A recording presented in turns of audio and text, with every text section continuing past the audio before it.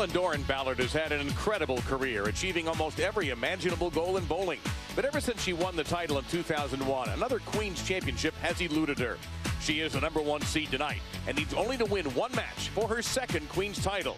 And it begins now.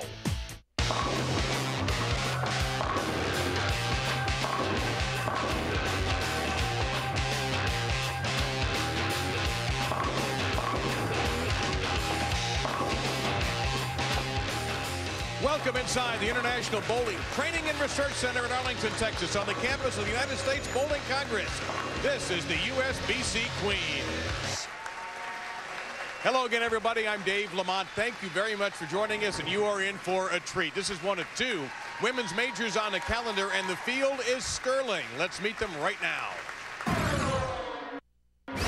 Hi, I'm Josie Earnest, the number five seed from Nashville, Tennessee, and Vanderbilt University. In the first match, she bowls me, Liz Johnson from Cheektowaga, New York. And the winner of that match faces me, Diandra Asbaty from Chicago, Illinois. The semifinal match will be the winner of that match versus me, Stephanie Nation from Grand Prairie, Texas. And for the championship match for the 2012 Queens Tournament presented by Storm, the winner will meet me, CDB.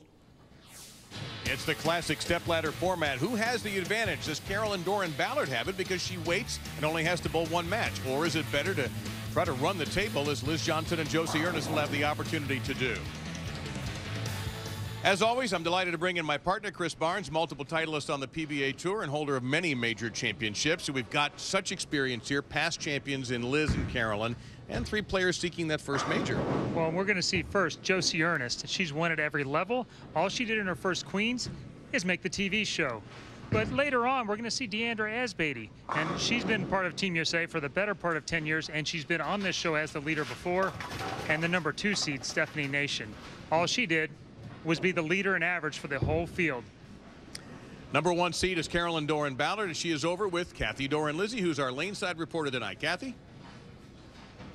No stranger to TV. You again? Well, 11 years ago, you were in the same position. You led the Queens. You won it that year, but it has been 11 years. The game has changed. Have you? Heck no. I mean, look at me. Come on. Do I look like I've changed? No. Uh, yeah, a couple things have changed. Uh, I've had a daughter since then, so my priorities have changed a little bit, but my competitiveness is still there, and I'm willing to change with the game, and I've made some changes to bowl well this week, and hopefully I can continue for one more game. Going to teach these girls some lessons? Absolutely. Heck, I could be their mom, for God's sake. Thanks, Carolyn. Back to you, Dave. All right, thank you both very much. In case you didn't figure that out, they're sisters. Chris, take us through the lane conditions here at the International Training and Research Center. Well,